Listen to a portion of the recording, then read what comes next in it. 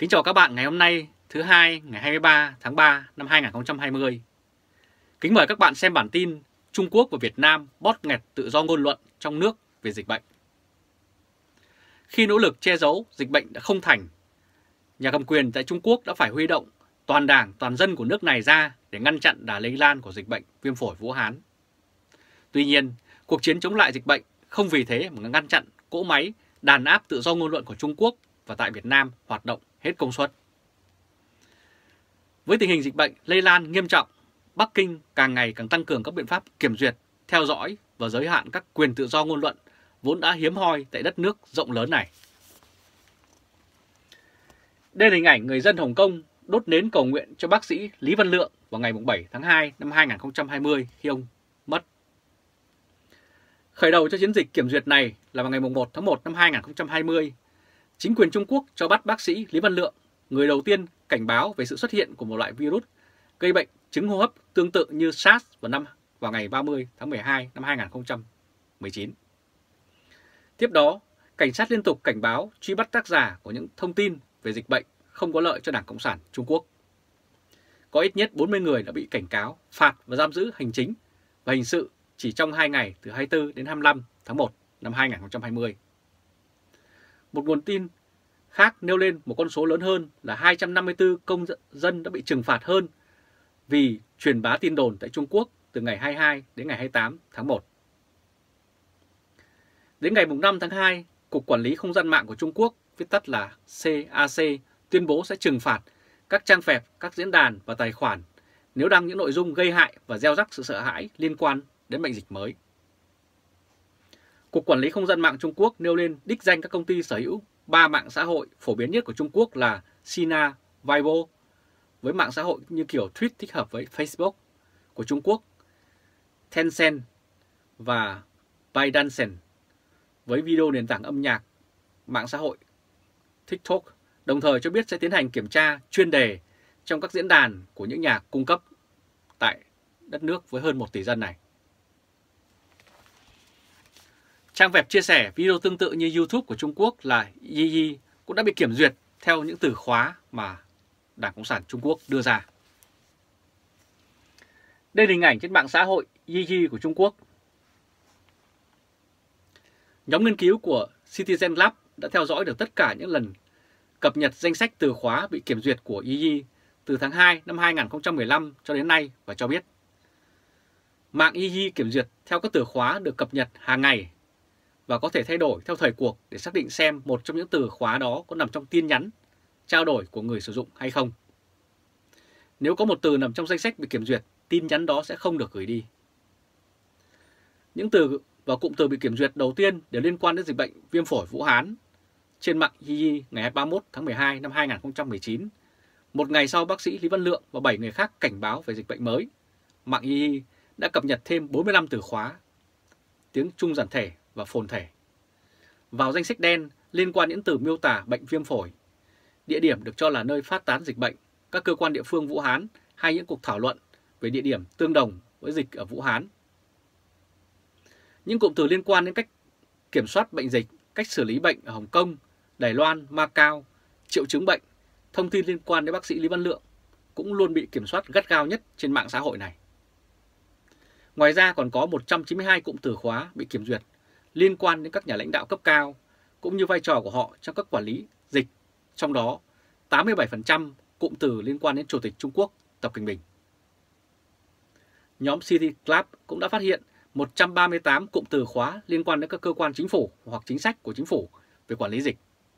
Trong đó có 39% là những bình luận chỉ trích lên án chính quyền trung ương và địa phương cũng như các cơ quan chính phủ đã giấu và xử lý không tốt dịch bệnh này và WeChat, ứng dụng nhắn tin có thị phần lớn nhất tại Trung Quốc cũng bị kiểm duyệt từ máy chủ. Đây là hình ảnh từ một ứng dụng nhắn tin WeChat sau đó đã mở rộng ra nhiều lĩnh vực như mạng xã hội, gọi video, lưu trữ đám mây, mua sắm trực tuyến và các dịch vụ tài chính, bao gồm thanh toán di động, thậm chí kết nối với thẻ căn cước, đã trở thành dịch vụ phổ biến nhất tại Trung Quốc. Mạng WeChat đã bị kiểm duyệt máy chủ, có nghĩa là tất cả các quy định để kiếm tiến hành kiểm duyệt đều nằm ở hệ thống máy chủ từ xa. Khi một người sử dụng WeChat gửi cho người khác một tin nhắn chứa một từ khóa bị kiểm duyệt, tin nhắn đó được chuyển đến máy chủ của tập đoàn Tencent, công ty mẹ của WeChat. Máy chủ này phát hiện xem tin nhắn có chứa những từ nằm trong danh sách đen hay không trước khi gửi cho người nhận. Theo kết quả của nhóm Citizen Club tiến hành bằng từ ngày 1 tháng 1 đến ngày 15 tháng 2 năm 2020, từ mạng của Đại học Toronto, WeChat đã kiểm duyệt một thông tin nếu tin nhắn đó chứa những cụm từ, trong đó có một hoặc nhiều từ khóa trong danh sách đen.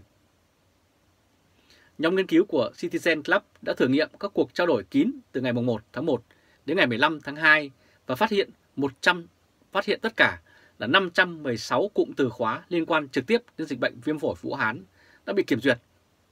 Trong đó cụm từ bị kiểm duyệt tăng lên gần gấp 4 lần chỉ trong 2 tuần đầu tháng 2, từ 132 cụm từ lên thành 516 cụm từ.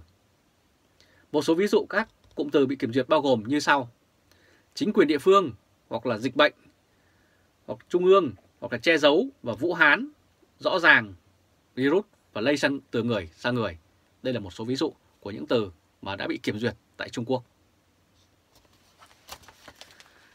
Và vượt lên sợ hãi, người Trung Quốc đã sáng tạo ra những cách lách để kiểm duyệt độc đáo để lan tỏa những thông tin trung thực hơn và chính xác hơn trong cộng đồng mạng với hơn 1,4 tỷ người. Đây là hình ảnh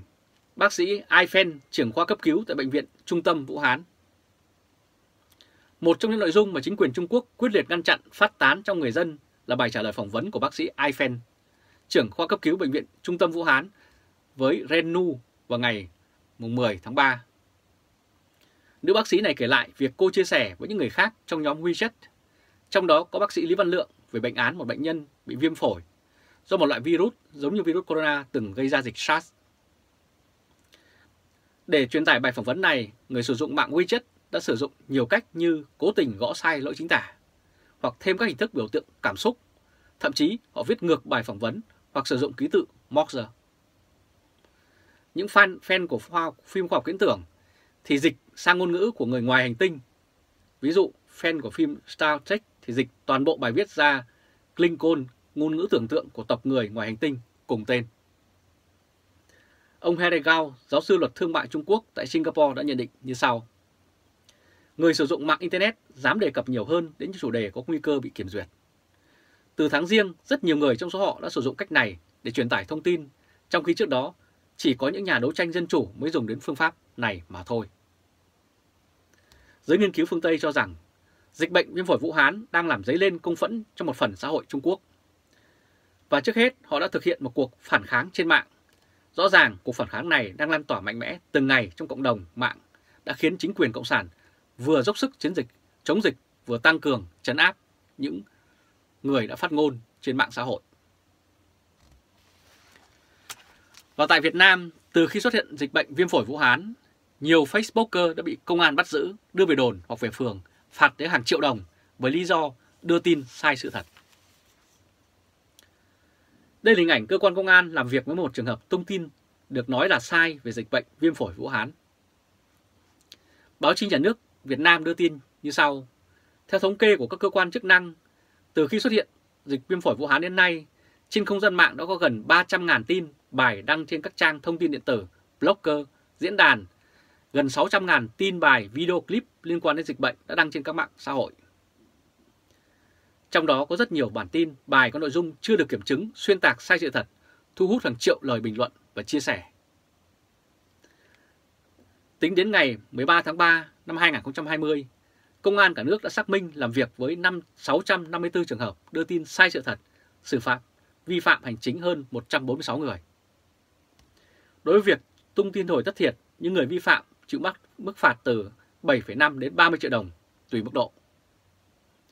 Ngày 3 tháng 2, Chính phủ đã ban hành Nghị định số 15 trên 2020 có hiệu lực từ tháng 4 về việc xử phạt hành chính trong lĩnh vực bưu chính viễn thông, tần số vô tuyến điện để thay thế cho Nghị định 174 nói trên. Theo luật mới, cá nhân có hành vi đưa tin sai sự thật, xuyên tạc gây hậu quả nghiêm trọng sẽ bị phạt tiền từ 20 đến 30 triệu đồng. Ngoài ra, nghị định mới nêu rõ nếu cá nhân vi phạm hành vi này nhiều lần, không tuân thủ cam kết gây nguy hiểm cho xã hội, có thể bị xử lý hình sự. Và dư luận trong nước rất bất bình với hành động trên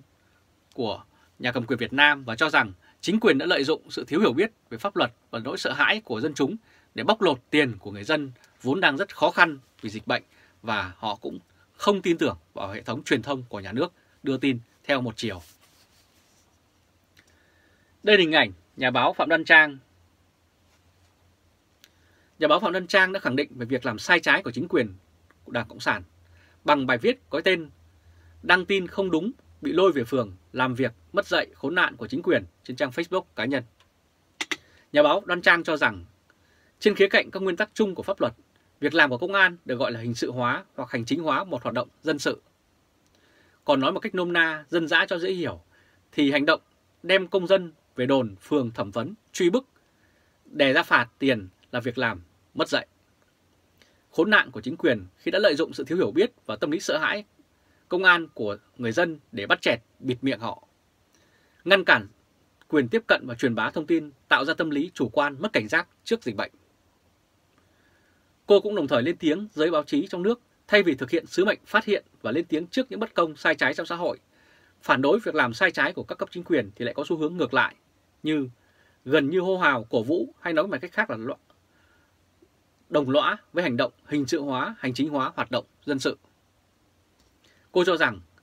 trong mọi trường hợp công chúng mới là lực lượng phán xét và một toán độc lập, công minh là nơi phán xét cuối cùng đối với hành động đưa tin sai, tung tin đồn nhảm của một nhà báo hay một Facebooker. Đặc biệt, công chúng luôn có người có thẩm quyền cao nhất trong việc đánh giá uy tín, tài năng, sự công chính của một nhà báo hay Facebooker. Trong một nhà nước công an trị bóp nghẹt tự do ngôn luận, tự do thông tin của người dân, vi phạm nghiêm trọng những quyền cơ bản của con người,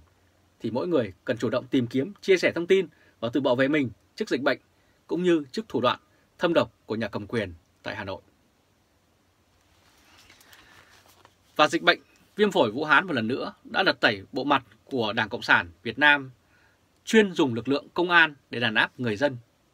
Một nhà nước theo đuổi sự tồn vong của Đảng Cộng sản, chứ không phải là nhà nước của dân, do dân và vì dân như những điều mà Tổng bí thư của Đảng vẫn thường hoanh hoang tuyên bố. Rất cảm ơn các bạn vừa theo dõi chương trình truyền hình trực tiếp của Lê Trung Khoa, Thời báo chấm ngày hôm nay, thứ hai ngày 23 tháng 3 năm 2020. Các bạn hãy chia sẻ video này cho nhiều người biết và bấm nút theo dõi YouTube và Facebook của Thời báo DE. Và chúng tôi sẽ cập nhật những bản tin mới nhất, nhanh nhất và trung thực nhất để phục vụ các bạn. Từ Berlin, Cộng hòa Liên bang Đức, Trung Khoa, Thời báo chấm Chào các bạn.